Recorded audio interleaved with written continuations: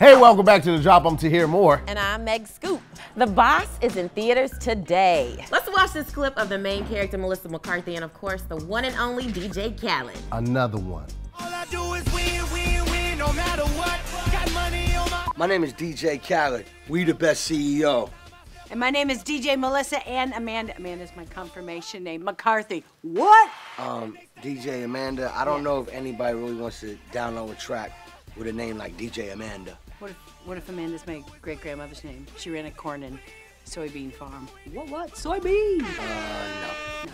Oh, good to know. No Yo, those two make a crazy pair of bosses. Right, so the movie The Boss inspired us to create our own list of the top craziest bosses, starting with Kanye West. Mm. Now, we don't know if Kanye's really a Yeah. crazy boss, but I think we can assume safely that he is. I feel like Kanye would be in a board meeting like, there are no y'all. It's only Kanye.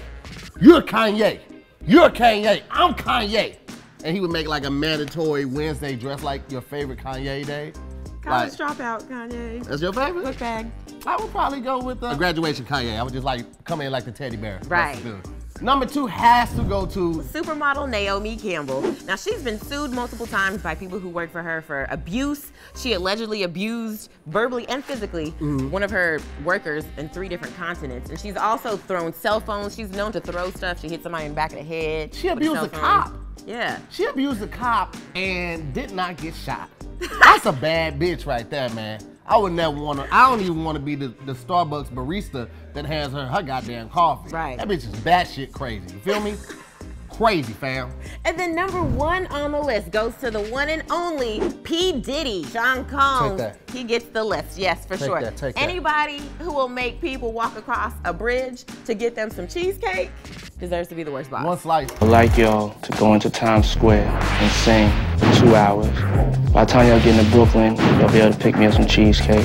In addition to that, he's been sued by former workers for age discrimination for not paying them. Mm-hmm. It's a lot of stuff. I, I would say, yeah, definitely, he deserves the number one spot. I actually heard that the only way you can get paid by P. Diddy is to sue him.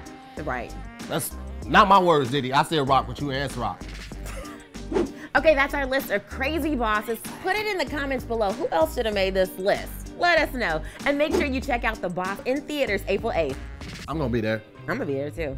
Listen, before we get out of here, guys, we got to give a shout out to our comment of the day. It goes to yesterday's video of Janet Jackson getting pregnant.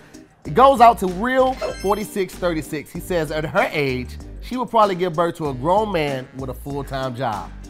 Hilarious. We see you, fam. As always, guys, remember to share, like, and subscribe to the channel. I've been Tahir Moore. And I'm Meg Scoop.